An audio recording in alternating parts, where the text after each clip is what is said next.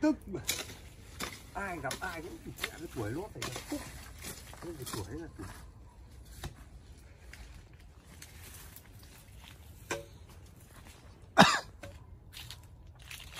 Cái này bỏ à? Về kéo cầm. Bé quăng mặt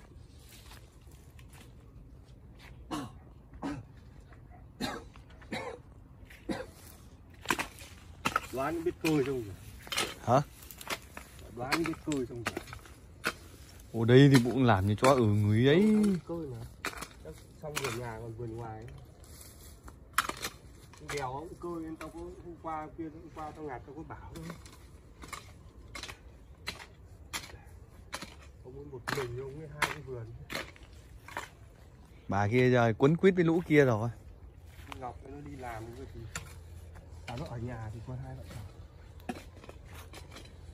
ở bưởi thì cứ hàng đầu vặn ấy.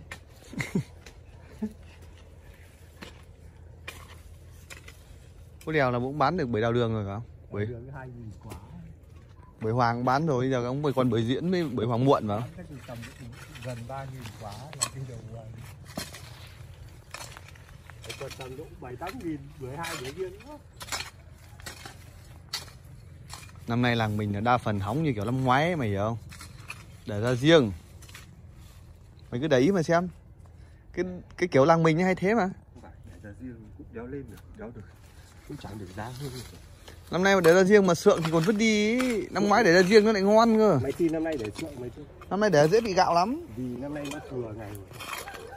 Thừa ngày nó lên nó lên. Lên Ừ. chủ lộng hết rồi